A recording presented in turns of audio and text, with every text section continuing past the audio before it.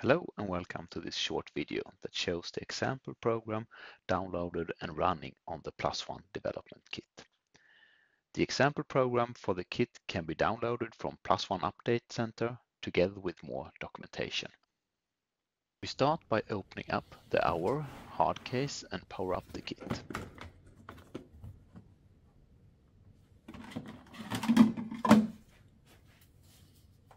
Here you can see a QR code and the URL to the site to download the software needed for this demo.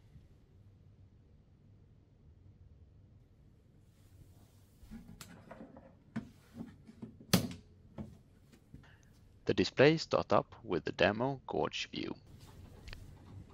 Press the middle button and choose the dual path from the menu.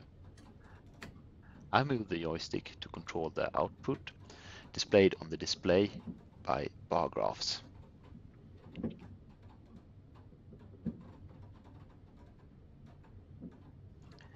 Don't forget to press the presence switch on the joystick.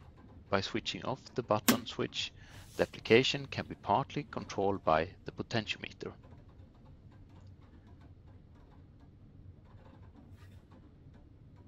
To demo the actuator movement, we use the buttons on the joystick. Start by switching the FNR switch to its upper learning mode.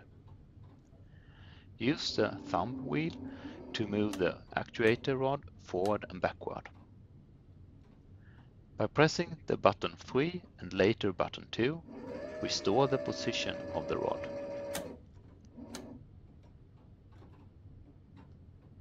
Now switching the FNR switch down to normal operation we can test the function to go to the preset positions.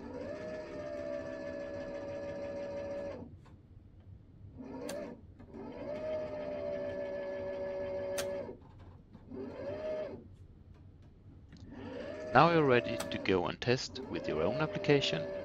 There is an option to extend the control system by adding them to the CAN bus. Here I am connecting an HMR to control the menu system of the DM430.